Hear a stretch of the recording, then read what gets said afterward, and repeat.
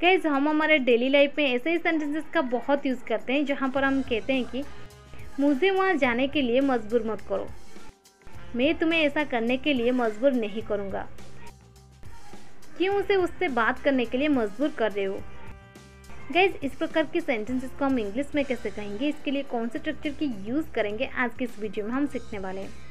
इस प्रकार के सेंटेंसेस को इंग्लिश में कहने के लिए आपको पहले यूज़ कर देनी है सब्जेक्ट इसके बाद हेल्पिंग वर्क हेल्पिंग वर्क के बाद आपको यूज़ कर देनी है कंपल कंपल के बाद ऑब्जेक्ट नाउन या फिर प्रोनाउन इसके बाद इन्फिनिटी फॉर्म यानी टू प्लस वर्क की फ़र्स्ट फॉर्म और लास्ट में अदर वर्ड्स मैं आपको और एक चीज़ क्लियर कर दूँ, यहाँ पर जो कंपल आप देख रहे हैं एक मैन वर्ब है, जो कि टेंस के अकॉर्डिंग चेंज भी हो सकती है।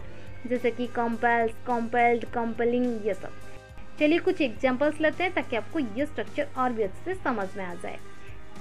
हमारा पहला एग्ज़ाम्पल है, बीमारी ने उसे बिस्तर पर रहने के लिए मजबूर कर दिया। Illness compelled him to stay in bed illness compelled him to stay in bed क्या वो तुम्हें पैसे देने के लिए मजबूर करता है? Does he compel you to give him money does he compel you to give him money मुझे वहाँ जाने के लिए मजबूर मत करो।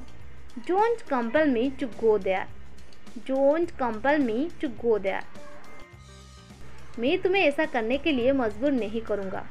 I will not compel you to do it I will not compel you to do it क्यों उसे उनसे बात करने के लिए मजबूर कर रहे हो?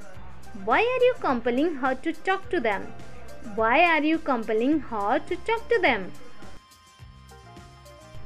एक अच्छा नेता लोगों को उसे वोट देने के लिए मजबूर कर देता है।